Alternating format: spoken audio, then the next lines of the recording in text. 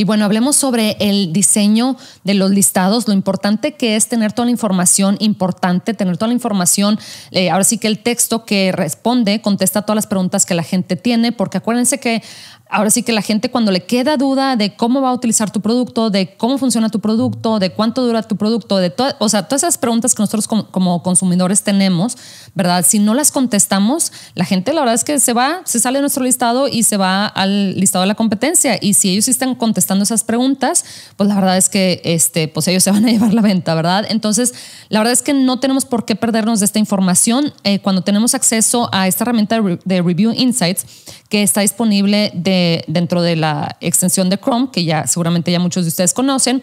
Cuando realmente nos ponemos a analizar qué es lo que la gente está diciendo sobre tanto mi producto como el de la competencia.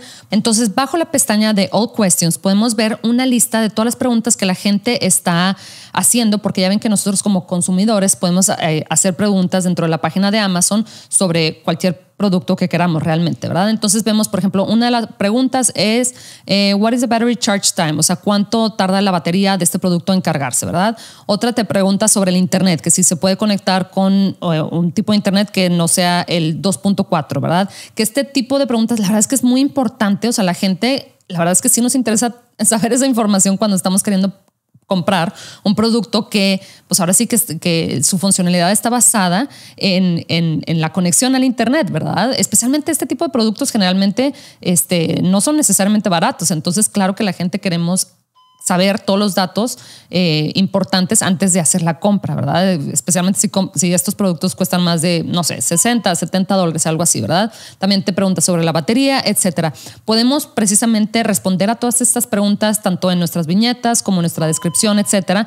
Y también podemos eh, poner esta información inclusive dentro de nuestras imágenes, ¿verdad? Este, podemos hacer ahí como que poner una gráfica, algo así como más visual y que hable sobre la batería o que hable sobre el Internet y la conexión al Internet, ¿verdad? O sobre que si la batería la puede reemplazar con otra o no. Todos esos datos que yo creo que cuando la gente siente que toda la información está ahí, ya es muchísimo más rápido, muchísimo más fácil tomar la decisión, ¿verdad? Entonces, otra pregunta, ¿cómo podemos saber cuáles son las palabras clave que traen directamente ventas a tu producto? Esta parte me encanta porque me encanta leer este reporte que precisamente Amazon eh, nos puso a nuestra disposición. Claro, tenemos que tener nuestra marca registrada dentro de Amazon para tener acceso a Brand Analytics, que es, esta es la pestaña precisamente Brand Analytics, donde podemos ver el reporte de Search Query Performance. Ahí, para la gente que está viendo mi pantalla, eh, ya una vez que estoy aquí dentro del reporte de Search Query Performance, bajo la pestaña de ASIN View, es decir, queremos analizar la información de un solo ASIN, o sea, de un solo producto. Recordemos que el ASIN es el número identificador de un solo producto, ¿verdad? Entonces ahí rápidamente yo selecciono el producto que quiero analizar, eh, le digo que quiero ver la información del mes este, del año 2002, ¿verdad? Para este producto. Entonces aquí lo que este reporte me va a decir va a ser Fíjate, la gente que está buscando estas palabras clave, este, le está dando clic a estas palabras clave, ¿verdad? Por ejemplo, vemos que para Coffin Shelf, eh, eh, la gente cuando busca esta palabra clave Coffin Shelf, le da clic a mi producto más de casi 8 mil veces. O sea, o, sea, obtengo casi 8 mil clics, ¿verdad? Para esta palabra clave. O sea, sí son bastantitos. Claramente es la palabra clave como más popular, ¿verdad? Porque ya veo que sigue la palabra clave Coffin Shelves y esta se lleva cerca de 2000, pero pues nada que ver con 8000 clics, ¿verdad? Que me estoy llevando por esa palabra clave. Y aquí veo de inmediato pues cómo eso se traduce en ventas, ¿verdad? Como vemos acá la columna que dice Search Funnel Purchases. Purchases son, son las compras, ¿verdad? Entonces ahí me doy cuenta que la gente cuando busca mi producto directamente, no mediante un anuncio ni mediante, o sea, cuando vienen de otro producto ni nada, sino cuando directamente buscan esta palabra clave, Coffin Shelf, en la barra de búsqueda, eh, yo me llevo 16 ventas, ¿verdad? Este, claramente tenemos que compararlo, ¿verdad? Eh, dependiendo de cuál sea mi, la participación de mercado de precisamente lo que estamos hablando de hace unos momentos, ¿verdad? Pero aquí es para rápidamente identificar cuál es la palabra clave que mejor le funciona a mi listado, ¿verdad?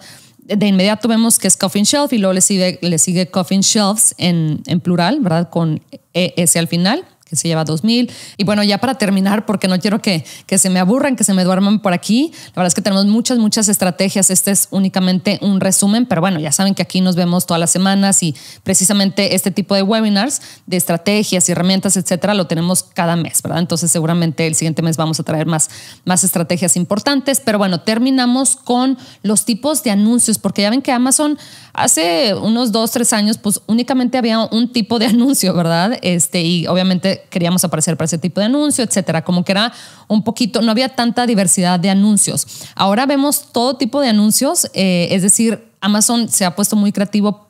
Ahora sí que con cómo, eh, pues sí, arregla y, posiciona estos, estos anuncios de diversas formas para que no se vea así como que todo, todo igual, ¿verdad? Y que la gente, pues ahora sí que la gente que está en la página no se aburra este, viendo este, pues sí, todo en el mismo formato, etcétera, ¿verdad? Entonces aquí, para la gente que está viendo mi pantalla, se va a dar cuenta que en la primera pantalla vamos a ver, eh, pues ahora sí que una fila de, de ads, ¿verdad? De anuncios y a eso se le llama display ads.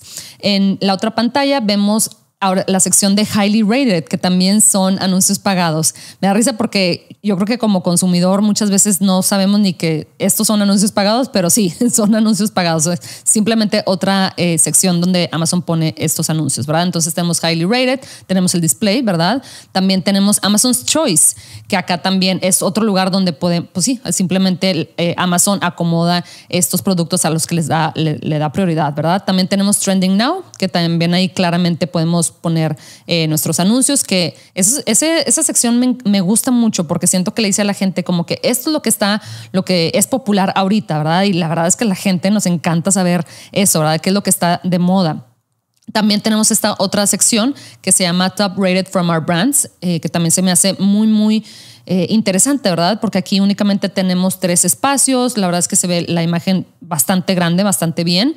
Y luego tenemos Editorial Recommendations. De hecho, esta es mi, mi favorita, la verdad es si tengo que escoger una, esta es mi favorita, la de Editorial Recommendations, porque ahí como se pueden dar cuenta, al lado me sale hasta como un texto pequeño que te habla sobre el producto, así como si fuera un blog. Y eso me gusta mucho porque la verdad es que la gente en ocasiones sí necesitamos saber más sobre, eh, sobre el producto, ¿verdad? Entonces eso a mí la verdad es que se me hace no sé, como que, me, que me, llama más la atención, especialmente porque siento que toma un muy buen, ahora sí que eh, pues bastante espacio de la página, ¿verdad? Entonces creo que es muy importante precisamente saber cuáles... Eh, pues sí, qué tipo de anuncios están disponibles para asegurarme de yo aparecer para, los, este, para la mayor cantidad de anuncios posibles. Entonces, la manera en que yo precisamente puedo ver si mi producto está apareciendo, pues ahora sí que si para todos los, este, los tipos de productos o para solamente algunos o inclusive analizar para cuáles este, anuncios está apareciendo mi, mi, competencia, que eso es muy importante porque qué tal que nos damos cuenta que están apareciendo para los siete tipos, o sea, siete de siete tipos que hay, ahí está mi, mi competencia pagando para todos ellos. Pues obviamente yo le quiero ahí hacer competencia y también aparecer para ellos, ¿verdad? Entonces, dentro de la herramienta de Cerebro, pongo ahí el número identificador del producto que quiero analizar, ya sea el mío o el de la competencia, y se van a dar cuenta que ahora sí que hasta el lado derecho, ¿verdad? Donde vemos ahí el filtro de Match Type, cuando le damos clic ahí, vemos todo un menú de los diversos anuncios que podemos, este, para los cuales podemos aparecer, ¿verdad? Entonces, aquí yo le digo a la herramienta, ahora sí que me encuentre. Yo la verdad es que seleccionaría todos para ver en cuáles estoy apareciendo y en cuáles no, o mi competencia, ¿verdad? Para así enterarme, ¿verdad? Porque muchas veces ni sabemos, yo la verdad es que me acabo de enterar de esto hasta hace algunos meses, unos, unos dos o tres meses, hace muy poquito, la verdad, y dije, oye, a ver cómo, cómo, o sea, yo quiero claramente aparecer para el de Editorial Recommendations, que es el que a mí personalmente más me gusta, ¿verdad? Pero la verdad es que este, todos estos tienen ahí como su atractivo, tienen este, el, pues sí, un motivo muy fuerte por el cual Amazon está queriendo poner estos anuncios en este formato, ¿verdad? Entonces, es una manera de enterarnos y, ver si queremos pagar para anuncios para aparecer, este, pues ahora sí que la mayor cantidad de veces enfrente de, de nuestra audiencia meta, ¿verdad? Entonces, bueno, ya los dejo por, por esta ocasión, por este episodio y nos vemos con más la siguiente semana. Muchas gracias por acompañarme y hasta pronto.